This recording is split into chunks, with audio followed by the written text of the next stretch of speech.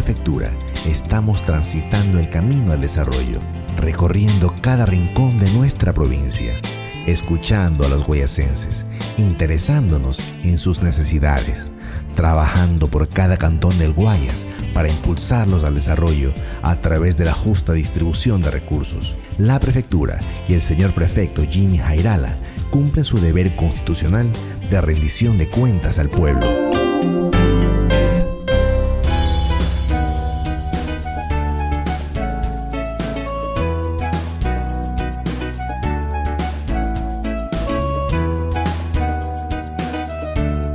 No hay que descuidarse porque a lo mejor ha bajado un poquito el nivel de las precipitaciones porque eh, como es un fenómeno nuevo y extraño el que se presentó en este año, como es un fenómeno que no está asociado con el niño, sino con, vientos eh, continentales, con corrientes de aire continentales, eh, pues tenemos que estar listos para presentarnos básicamente con ayuda humanitaria. ¿Por qué digo básicamente con ayuda humanitaria? Porque he insistido y es cierto en que teníamos hasta hace un mes un poco menos 54 frentes de trabajo con maquinaria.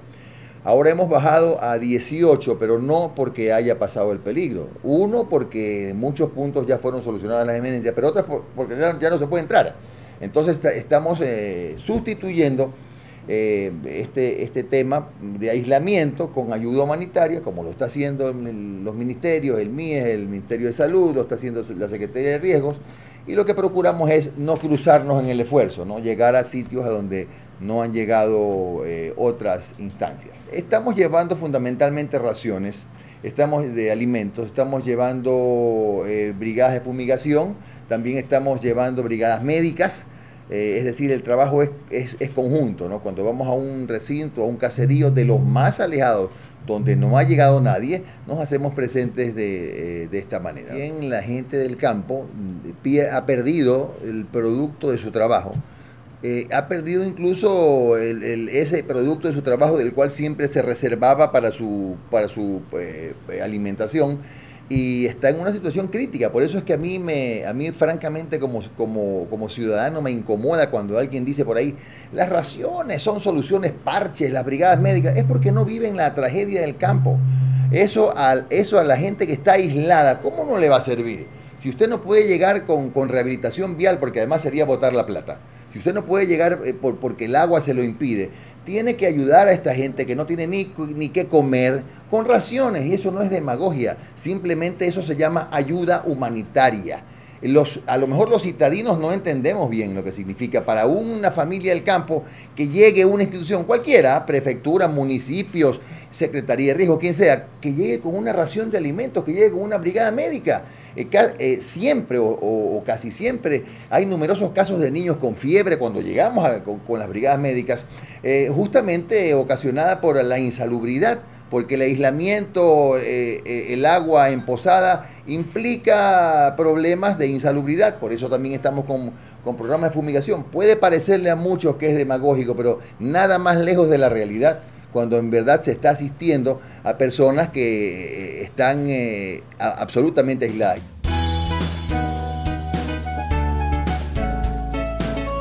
Aquí en esta provincia, en este país, en esta provincia, no se han tragado los ríos y los esteros. Pues lo que últimamente se conoció fue que eh, Senagua adquirió cuatro dragas que fueron bastante útiles, una de ellas en el sector de Salitre, y esta, y esta falta de dragado de ríos y esteros es la que hace pues, que los caudales de los ríos y los esteros, para ser explícitos, sean cada vez menos profundos. No solamente que llueve más, es que además los caudales son cada vez menos profundos. Entonces, ¿cuál es la, idea? No podemos pasar amurallando la provincia. Aparte de que es un desangre eh, tremendo de recursos, vamos a trabajar en dragado. Es por eso que la próxima semana ya Senagua nos va a entregar una draga, una al menos para comenzar para la provincia del Guayas, a raíz de una conversación que tuvimos en Santa Lucía con el señor presidente de la República. Se podrá decir que una draga es muy poco, es muy poco, pero hay que empezar por algo. Y con esa draga ya estamos identificando cuatro o cinco puntos que vamos a poder atender en el primer año. Porque tampoco mucha atención no significa que con una draga se acabaron los problemas del Guayas. No, no, los problemas macro ya están en vías de solución a través de dos proyectos que son estatales, que son de Senagua, que son el Daubín, que es el Daulevinces, y el, eh, el Buluca, que es el Bulubulu Cañar. Esos megaproyectos son los que van a contribuir a, por lo menos en la zona más crítica, Washington y Orlando, a bajar el impacto de, de las inundaciones.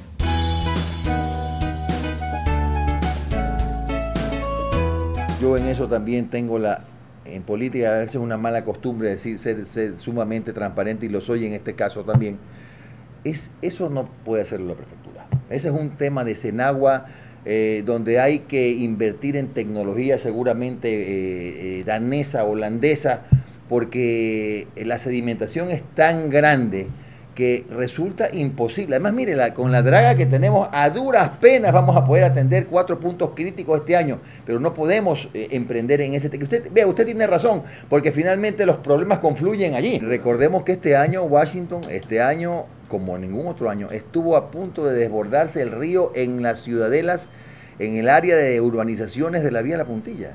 Estuvo a centímetros de desbordarse, que no había pasado antes. Eh, eh, eh, el agua el agua empezó a, resumir, no, no, sé cómo, cómo le dicen En la zona esta de los lugares, de los malls. En la ciudad, pero no, no, no, eso fue el efecto nada más del agua, pero el río estuvo a punto de desbordarse en, la, en el área de la puntilla San Borondón, no había pasado nunca. Entonces, eso que usted dice es un problema gravísimo, pero yo sí digo que le corre... Yo eh, entiendo que hay un plan, ¿ah? que ya el Senagua tiene un Senagua tiene una eh, tiene proyectado intervenir en algún momento, ¿no? Y lo que nosotros vamos a hacer como Consejo Provincial es un poco descargar esta, este, esta responsabilidad. Por ahora, lo que suponemos es que será una, una transferencia eh, de competencias, si es así, será con recursos Ojalá así sea, de otra manera será pues un comodato, pero vamos a recibir la draga y ya vamos a empezar a trabajar lo más pronto posible.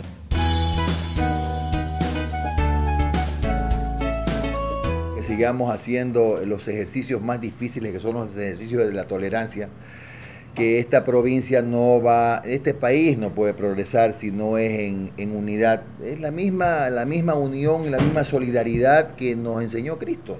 Ese, el, que apliquemos ese mensaje de fe, de paz, que es el que transmitió eh, nuestro Señor y por el que murió en la cruz y, por, y por cuya defensa murió en la cruz.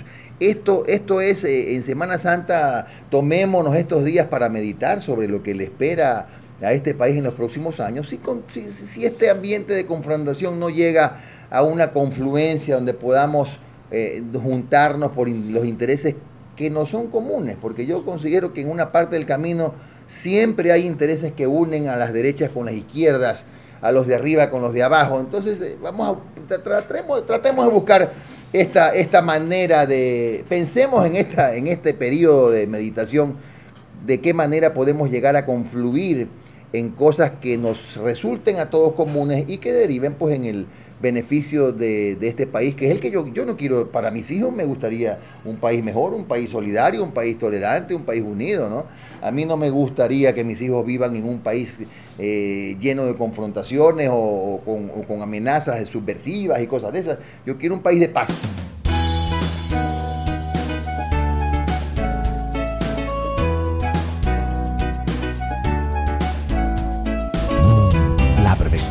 Guayas avanzan con equidad.